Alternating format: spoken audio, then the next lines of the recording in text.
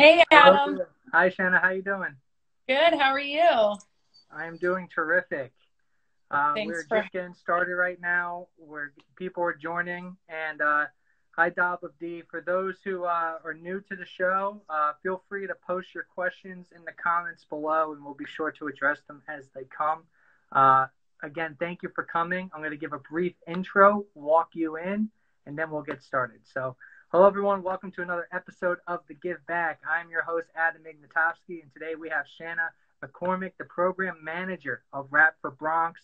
They are a fantastic organization located in the Bronx that provides food relief and other services to those uh, in need in the community. Uh, Shana, welcome to the show. How are you doing today? I'm doing well. It was just, you know, another day in paradise. Yeah. um, dealing with a lot of stuff. I know a lot of people can relate. A lot of us in the food relief world have been extremely busy, especially during the pandemic. Um, but everything's going well. And thank you again for having me tonight. Of course. So I thought for the first question, let's just open it up. What is Rap for Bronx all about? What is your mission? Uh, we'll go from there. So, RAP for Bronx stands for Relief Access Program for the Bronx. Um, and essentially, we are a food relief program that was born in the wake of COVID. And um, we have a heavy background in construction and in logistics. And, uh, you know, when the, at the height of the pandemic, when everything began in March, April, um, the city was pretty much shut down, uh, as we know. And we had access to fleet, to laborers that were out of work. And um, we just got busy, and Bronx was one of the hardest hit areas in our city. And they're usually also the forgotten borough. Um, that is going to change. We are going to make sure that that does, along with many other organizations that are working so hard to create awareness and, and change. Um, and so, yeah, we had fleet, we had laborers, and you know, they got busy with packing pantry bags back in um, April. We did our first distribution April 1st of 100 pantry bags. And thankfully, to date, we've been able to distribute over 850,000 meals. Wow. Um, we did not do that alone, of course. It's, you know, with the help of our volunteers, with different partners, organizations that have donated um, an amazing amount of food. And yeah, so we're predominantly a food relief program.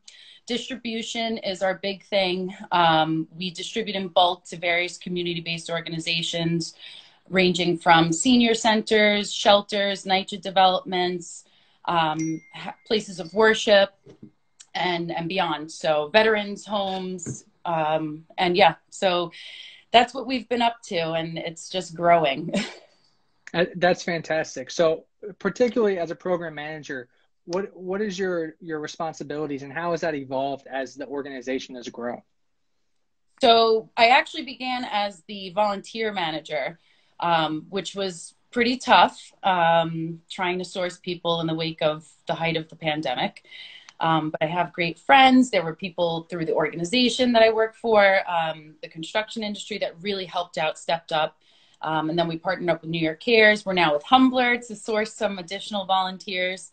Um, so that was my initial task. And then I kind of rolled into the logistics and distribution end of things and started managing the day to day. So basically, my day to day is reaching out to CBOs, onboarding additional community based organizations, doing needs assessments, seeing what they need uh, for their particular zip codes and communities. Um, and then ensuring and finding a way that we can to you know um, service them and and get what they need really kind of creating a relationship with the CBOs to have a better understanding of how we can help. And Right. you know, the schedules with the drivers and the logistics, that's the fun part. It's the exciting part. right. so it sounds like there's a constant grind and a constant like evolution of the program. So what has fueled you personally uh, to keep moving and keep grinding for Rap for Bronx? um, personally, I mean, I, I have the heart. I've always wanted to help people. Um, and, you know, I started, like I said, through the volunteers and seeing how dedicated the volunteers were and how excited and happy they were to help. A lot of our volunteers are Bronx based too. So they were essentially helping their own community. It's like a big circle, everybody's helping out. And it was really nice to see how, you know invested they were in giving back and i was like all right i'm in this space and i'm going to make the best of it and i'm going to you know make sure that my boots are on the ground listen and engage with the community directly um, and there's a lot of community based organizations that rely on us. For instance, Tuesday is one of our heavy days where we receive about 22 pallets of food and then we distribute same day. And so, you know, it's, I have to ensure that I keep that line open and still am servicing them because they depend on us. Um, and yeah, so I just, you know, I stepped in, I made a promise to make it work and, and I'm going to be here for the long haul. That's fantastic. And and to that point, what are some of those positive impacts that you saw within the community that maybe you didn't expect when you first joined? They restored my hope in humanity. I mean, you know, it's uh, I'm sure everybody has their own um you know dealings and situations with covid how it affected them personally maybe their families their communities um, not just the bronx all over but um, when I say that, you know, my, my hope in humanity was restored, you know, New York City was hit hard. The Bronx was hit the hardest. And to see people step up um, and really be invested in helping their neighbors and their communities, um, you know, I saw the best in a lot of people and seeing how like you know there's we're not the only organization doing this by any means you know and working together in collaboration with other organizations with the same goal in mind and same mission or similar mission um, has been so rewarding. And i've met some really awesome people that you know being able to collaborate with them is a gift. And you know i learned so much from them. Hopefully they learn from me as well whether it's through our mistakes their mistakes and just you know brainstorming and collaborating. So um, it's it's been a real true gift and and to see how people are and you know how they're doing for what they're doing for their communities is really rewarding. Right. And, and when we think about it you know those from manhattan or brooklyn or queens or, and even staten island uh, although they're you know a ferry away uh, you know can they give back and get involved with rap for bronx Oh, absolutely. Um, I mean, we encourage and open, you know, we're open to anybody who wants to step in and help. Um, we can always use volunteers. Um, you know, thankfully, with people go, some people going back to work, I'm happy that people were getting back to work and all of that, but we really saw the decline, especially we, a lot of our volunteers were teachers. So in the summer, it was awesome. They were all like, oh, we want to help out and stuff like that. So, but with them going back to work, we've seen a little bit of a decline with regards to sourcing volunteers. So we're always open. I mean, the biggest donation that one can make is your time. And so people can reach out to us via our website and sign up and help. The more helping hands, the better. Um, whether it's you know helping offload trucks or packing pantry bags or you know, eventually we're we're going to be venturing more into uh, health and wellness programming, and we could use all the help we can get with that. Absolutely. So, if we were to get more specific, what are the certain types of ways one could give back and volunteer with Rap for Bronx?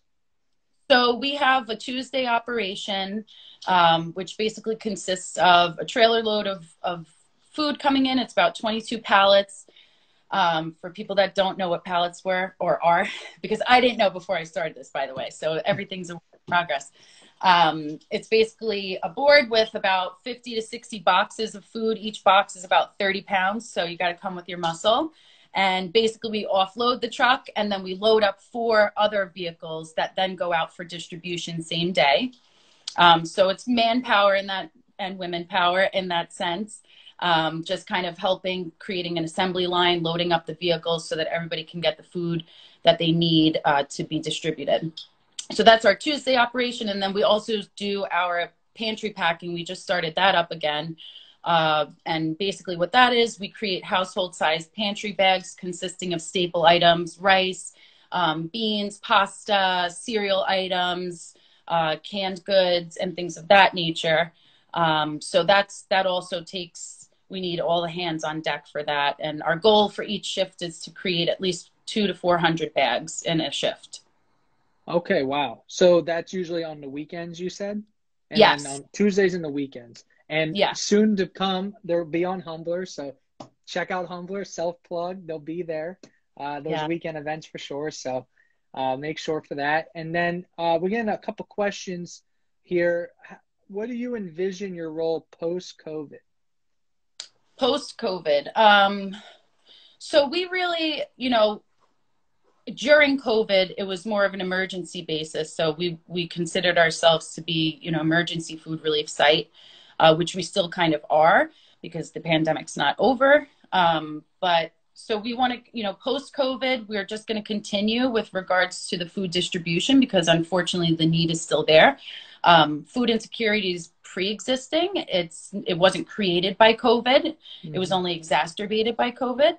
Um, so we will continue that, but also what I envision for Rap for Bronx is more health and wellness programming, um, educating uh, the community on you know better options for food and you know the access is one thing so our goal is to be able to provide access to better quality goods but also ensuring that they're educated on you know the different types of food and just overall health and wellness within the community because it's vital to our sustainability and progression. Absolutely. That makes a lot of sense. So uh, you know we're close we're nearing the end of today unfortunately. Is there anything before we cut to the final segment uh, that you wanted to call out and let our viewers know um i think you know we're like I had mentioned before with regards to volunteering, um, they can always sign up. We'll have our our shifts on Humbler, um, but we're very open. We have um, on our website they can reach out via email if they have any advice. We're always open to that brainstorming. Um, if they have any, you know, advice that they would like to share with regards to how we can better serve the community as a whole, our city as a whole, we're always open to that. So that's that's really it. And just be kind to your neighbors. You know you never know what somebody's life looks like. You never know what their daily you know grind is or what they're going through. So um, i think just to spread love and to spread kindness is super important now more than ever. And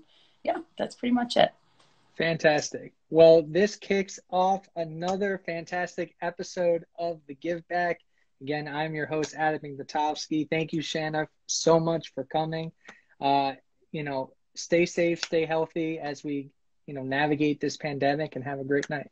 You as well. And take care to everybody. Thank you for tuning in.